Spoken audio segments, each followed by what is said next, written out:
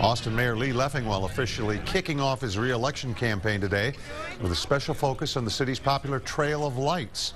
Leffingwell invited constituents to a barbecue lunch. The mayor announcing a proposed partnership with Runtex to bring back the City of Lights Festival. It'll be a public-private partnership, which is ideal because it's not going to cost taxpayers money. It's going to be funded through private donations.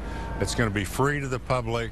Uh, it, it just couldn't be better if, if everything works out the way we're planning. The proposed Trail of Lights partnership with Runtex will come up for a vote in the City Council Thursday. Mayor Leffingwell is running for his second term as mayor. The other declared candidate for mayor says she also supports the Trail of Lights, but Bridget Shea is critical of what she calls the city's special deals and giveaways.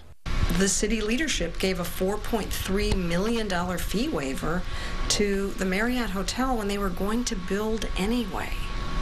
And that's money that we could have used for the Trail of Lights. That's money that we could have used for community pools, which the city has had to shut down. Instead of spending money on business incentives, Shea says she supports lowering the costs of electricity and water in Austin. The mayoral election will be held May the 12th.